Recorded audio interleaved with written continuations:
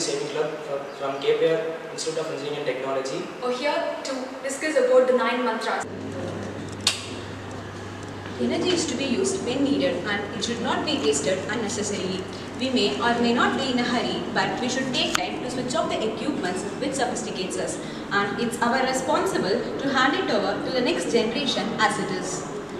The first and the foremost mantra is switching off the equipment when not in use.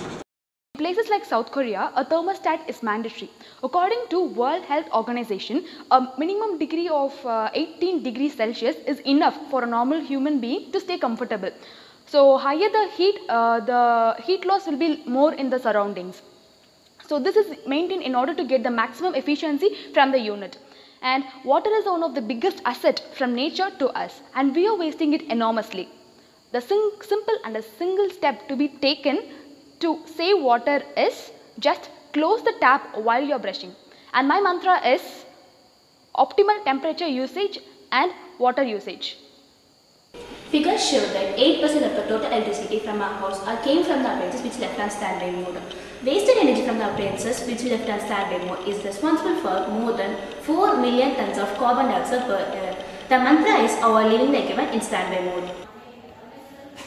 The next mantra is regular cleaning of AC filters and use of natural lights. Friends, the main task in this to clean the AC filters. By cleaning the AC filters, we can increase the efficiency. Also, we can consume 5 to 50% of the energy consumption. In this hot summer, we can utilize renewable energy which is pollution free. Also, we can reduce the dependence on fossil fuels. Even in cloudy days, we can produce some amount of solar powers. Therefore, the mantra is use solar LEDs.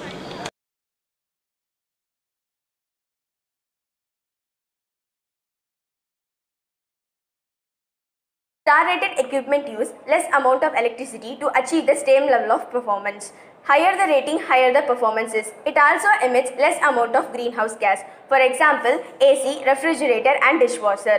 The mantra is use star-rated equipment.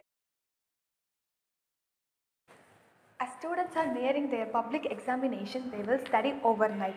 At the time, it is advisable to use LED lamps instead of going through other means. LED is not harmful as believed as many. The mantra is use of LED study lamps. Hereby, with the members of Energy Saving Club from KPR Institute of Engineering and Technology, Kindly request you all to follow the nine mantras. Thank you.